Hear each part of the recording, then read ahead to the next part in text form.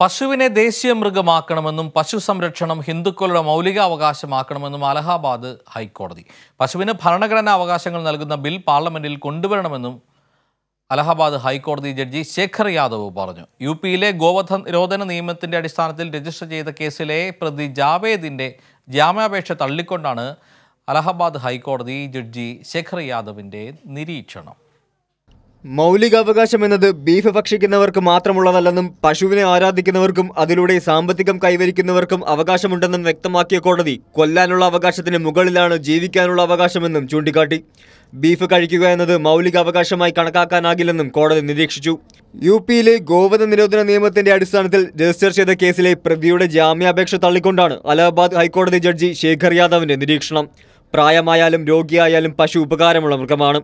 അതിന്റെ ചാണകവും മൂത്രവും കാർഷിക ആവശ്യങ്ങൾക്കും മരുന്ന് നിർമ്മാണത്തിനും ഉപകാരമുള്ളതാണ്. ഇതിനെല്ലാം അപ്പുറം പശുവിനെ മാതാവായി ആരാധിക്കുന്നവർക്ക് പ്രായമായാലും രോഗിയായാലും അതിനെ കൊല്ലാനുള്ള അവകാശം നൽകുന്നില്ലെന്നും കോടതി വ്യക്തമാക്കി. ഹിന്ദുക്കൾ മാത്രമല്ല പശുവിന്റെ പ്രാധാന്യം മനസ്സിലാക്കിയിട്ടുള്ളത്. ഇന്ത്യയുടെ സംസ്കാരം മനസ്സിലാക്കിയ അഞ്ച് മുസ്ലിം ഭരണാധികാരികളും പശുവിനെ കശാബ് ചെയ്യുന്നത് നിരോധിച്ചിട്ടുണ്ട്.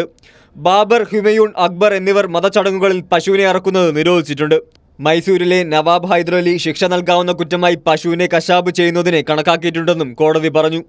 അതേസമയം പശുവിന് ഭരണഘടനാ അവകാശങ്ങൾ നൽകുന്ന ബിൽ പാർലമെന്റിൽ കൊണ്ടുവരണമെന്നും ഇന്ത്യൻ സംസ്കാരത്തിന്റെ അവിഭാജ്യ ഘടകമാണ് പശുവെന്നും ശേഖർ യാദവ് അഭിപ്രായപ്പെട്ടു. പശുക്കൾക്കും ക്ഷേമമുണ്ടായാൽ രാജ്യത്തിനും അഭിവൃദ്ധി ഉണ്ടാകുമെന്നും പശുവിനെ അപായപ്പെടുത്തുന്നതിനെക്കുറിച്ച് സംസാരിക്കുന്നവർക്ക് കടുത്ത ശിക്ഷ നൽകണമെന്നും അലഹബാദ് ഹൈക്കോടതി നിരീക്ഷിച്ചിട്ടുണ്ട്. News bureau Delhi.